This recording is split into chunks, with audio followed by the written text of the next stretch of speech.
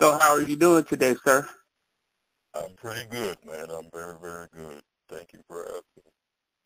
Yeah, so I am speaking with Mr. Uh, Byron uh, Canada, and I want you to tell me about yourself and uh, your role with uh, Houston's uh, Pro- Houston Splash is the name. Right. Okay. So a little bit about myself. I'll give a little bit of my background. Um, I uh, have uh, 20 plus years in the uh, in the entertainment industry, particularly film and television, and um, my uh, role uh, with uh, Houston Splash Pride is uh, I was brought on board as a as a social media coordinator, and uh, now I also uh, direct and coordinate uh, the Houston Splash Pride's first annual film festival. Wow, a film festival, and this is the first annual one. And tell us a little bit more about that and how did uh, that come about to include a film festival along with the other festivities? Well, it, it was actually a, a natural uh, progression uh, from what uh, Splash had uh, been doing uh, for, I'd say, the past three to four years. The um, part of the events, uh, along with, you know, of course, the, the usual uh, uh, music uh, and entertainment, uh, they uh, started featuring film screenings. Um, and the one that um, people will most likely remember was the most recent one that they had with Patrick Ian Polk. They screened his last film, The Skinny, here in Houston during Splash Pride. Mm-hmm. And and what was that like, and what sort of feedback did you get from some of the uh, attendees there? Uh, a lot of positive feedback. A lot of positive feedback. People actually uh, wanted more. So, uh, in order to give them more, we uh, moved. We ramped it up a bit. Uh, the the feedback was, hey, why don't uh, along with all of the other events, uh, with Splash. Why don't we Why don't we do more movie stuff? Because uh, that, that was that was a lot of fun. So uh, we've uh, taken it from one single day and turned it into a three-day mini film festival. Wow, that is great. And I, I guess you know we do need to take a step back and just uh, talk about what is Houston Splash. When did it start? Just real briefly, uh, for those who don't know and then just talk about what's going to happen this year. It's going to be different from the previous years. All right. Okay. So uh, in in the beginning, uh, 20 years ago, uh, the uh, the founders, uh, Sean and Derek, uh, created this singular event in order to find a way to to to celebrate uh, along with uh, some of their other friends uh, that they knew, uh, their um, LGBT pride. Uh, because, you know, annually they always have uh, pride events going on throughout the U.S. So uh, with uh, Derek and Sean, they uh, decided, well, hey, we're gonna we're gonna uh, create our own thing uh, that celebrates Black Pride uh, here in Houston and uh, we're gonna uh, we're gonna do something else different. We're also going to celebrate on the beach. So that's uh, become uh, the central uh, event uh, of Houston Splash Pride, which makes it so unique. And along throughout the years, throughout those 20 years, they've also added different events, along with the, you know, along with the parties and all of the social mixers and all those things.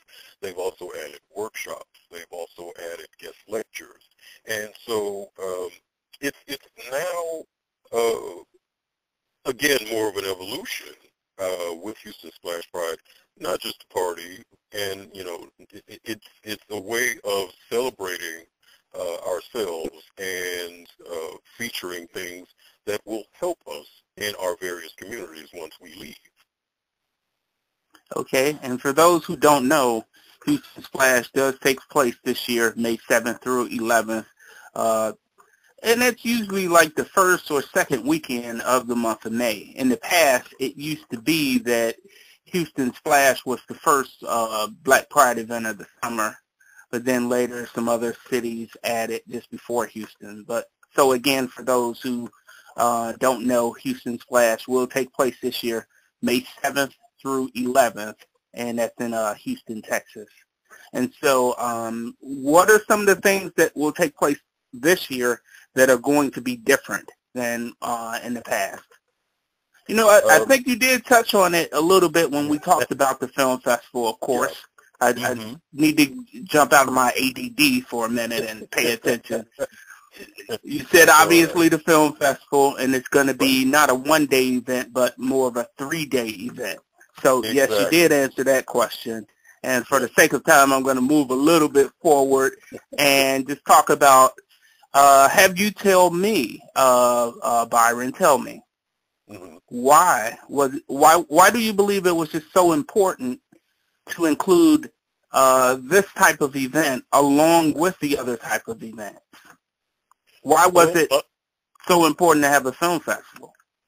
Okay, well, honestly, Philip, uh, with uh, with our communities, because one thing that is that everyone I'm sure can agree on, we are we're not just a homogenous group of individuals, and we all uh, don't simply like the same thing. We we we like right. we like to be informed and entertained in various ways.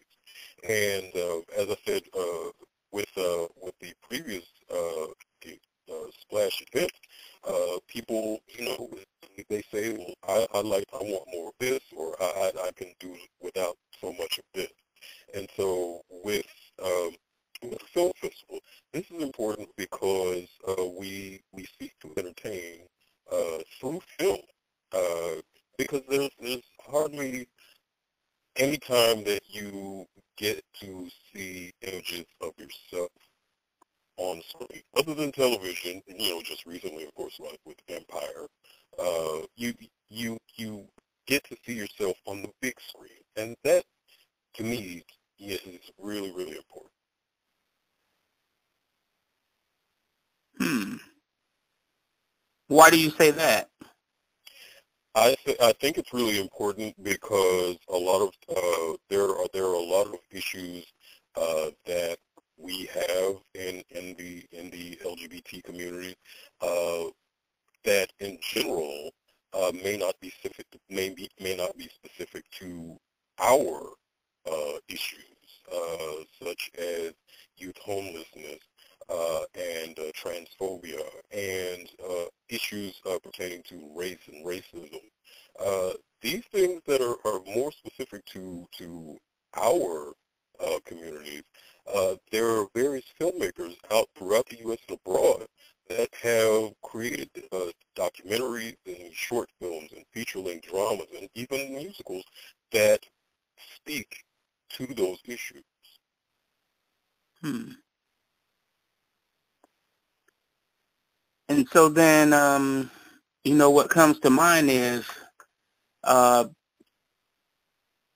tell us some of the processes you've used to determine what films will be screened and how many films will be screened. Okay. So I guess I need uh, to go back and say how many uh, films will be screened, and then what processes did you use to determine which okay. films would be screened? All right, that's that's a really good question. Okay, so this year uh, we we have a total of seven films uh, for three days. Now that's uh, for Thursday and Friday. We will uh, screen three films per day, and on Saturday we have our uh, single uh, feature Houston exclusive premiere feature film. And the process for selecting these films was, as I said earlier, is, is a matter of, of uh, education through entertainment. So the films that were chosen uh, dealt with issues uh, within our communities, so like I said, youth homelessness, Uh, AIDS, uh, trans, uh, transphobia, and, and things of that nature. So those films that had those subjects were the ones that were the most important to us. Okay. And so then, um, will the festival include uh, feature length, or will these be short films or web series, or all of the above? Um, we uh, didn't have an opportunity to select any web series, but we do have uh, short films and feature-length films. Uh, and uh, those those are, are I think with uh, seven films in three days, that's uh, that that's a pretty pretty big schedule. Okay. And have you determined which films, and if so, what can you tell us? What films are going to be screened, or is that to be to, to be announced? Yes, um, I, I can. Uh, I'll, I'll run down the list very quickly. It, it, like I said, it's just seven films, uh, and uh, they're all great and uh, very, very entertaining and created by some amazing, amazing filmmakers.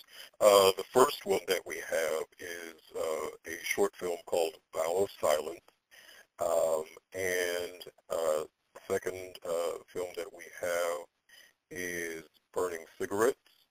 Uh, these mm-hmm. are uh, these are short films and feature films as well. Uh, we also have a short film called You're Cute for a Black Guy. This one is really interesting because it's only eight minutes long, but in that eight minutes, incredibly entertaining.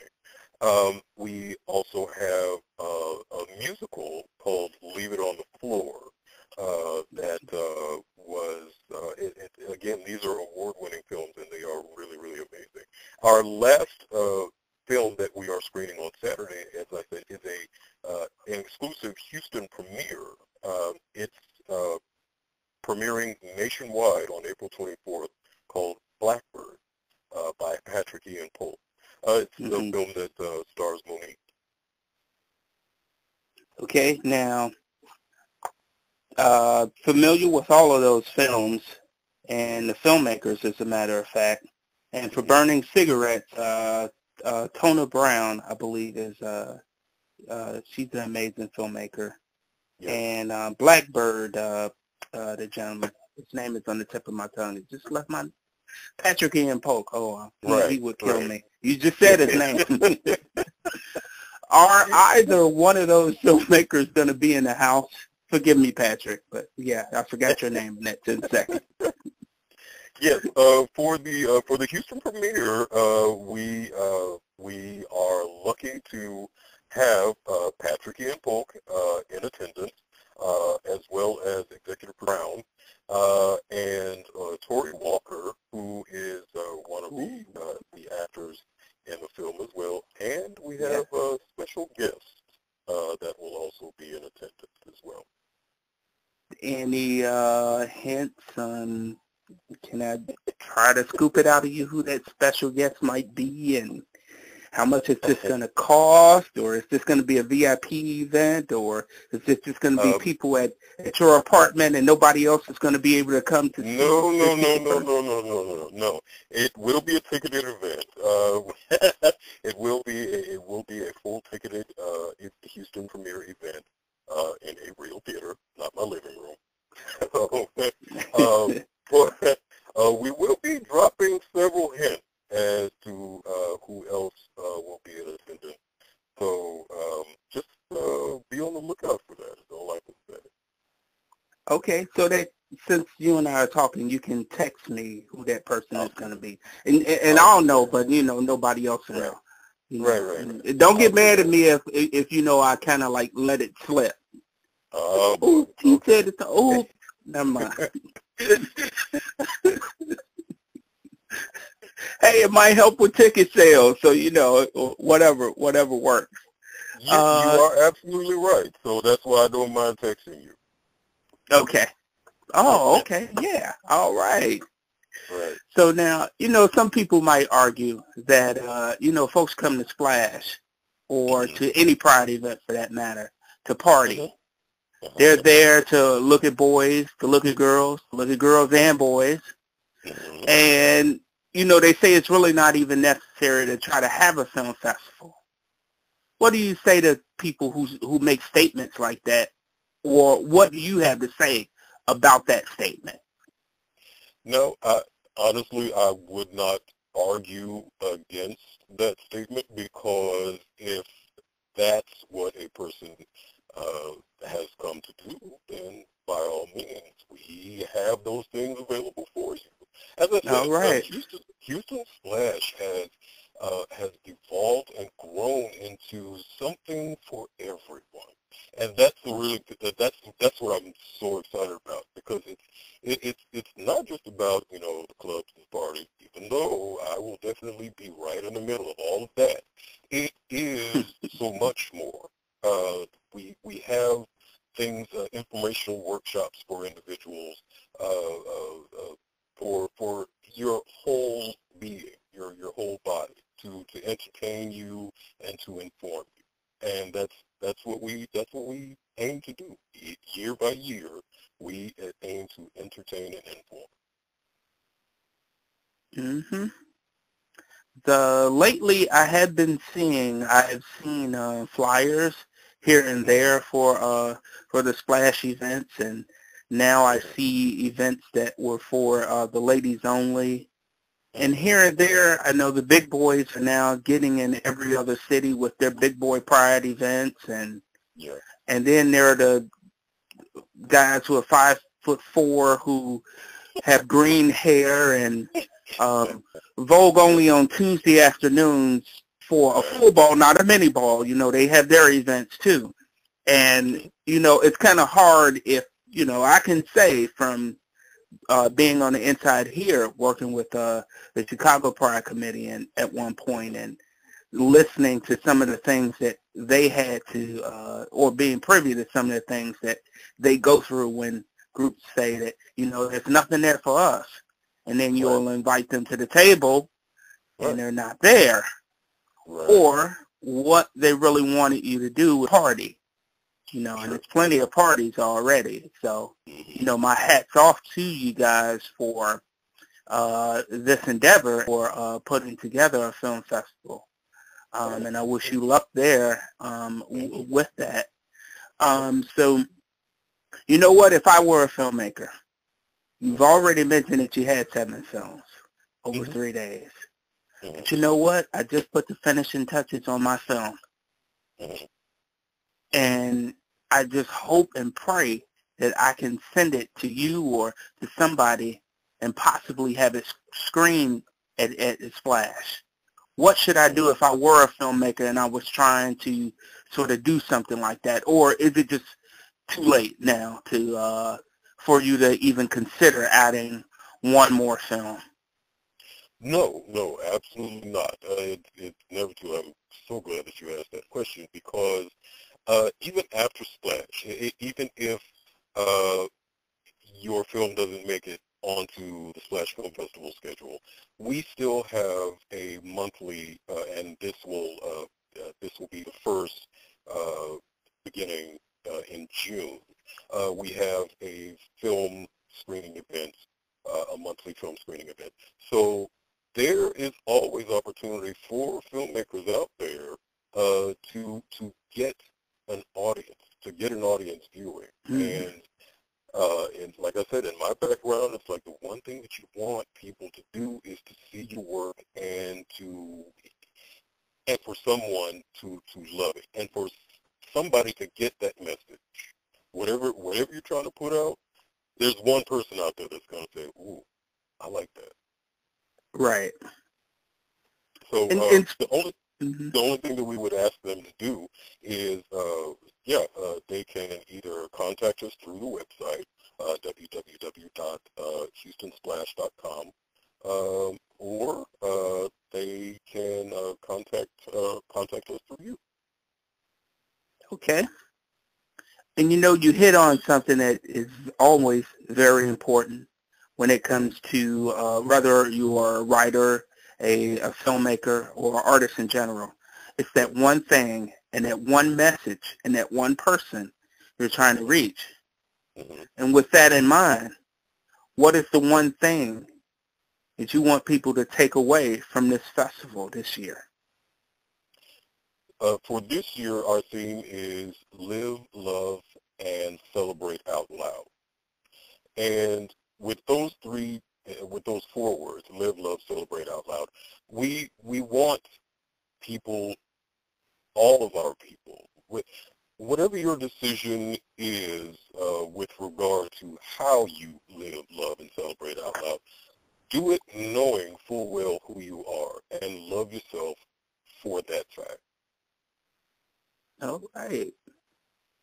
That's a, a very that's a wonderful message uh, that could apply to uh, any piece uh, or any part of someone's life. So that is a very inspirational and positive message uh, for, for people to take away.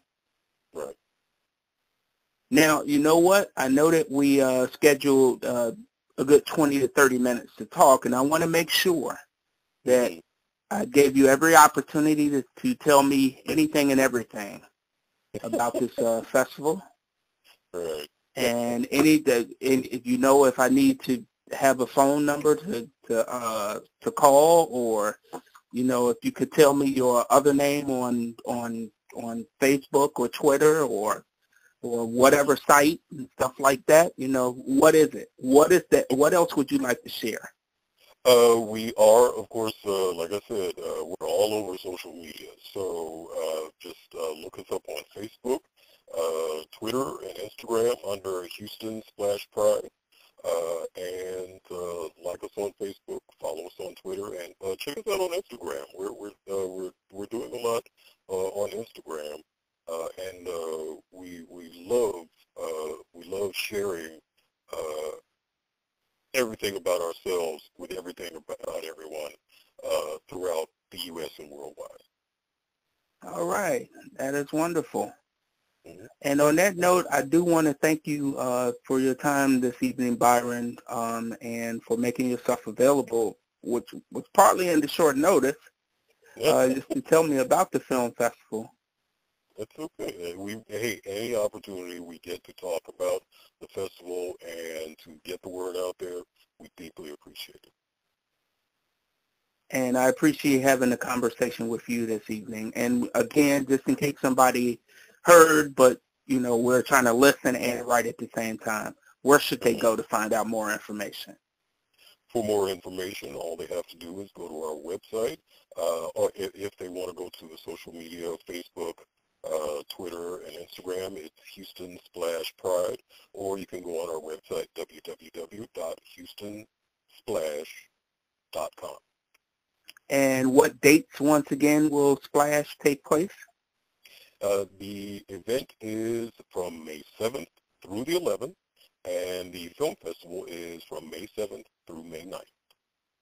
All right, all right. So everybody out there, get out there and uh, go to houstonsplash.com.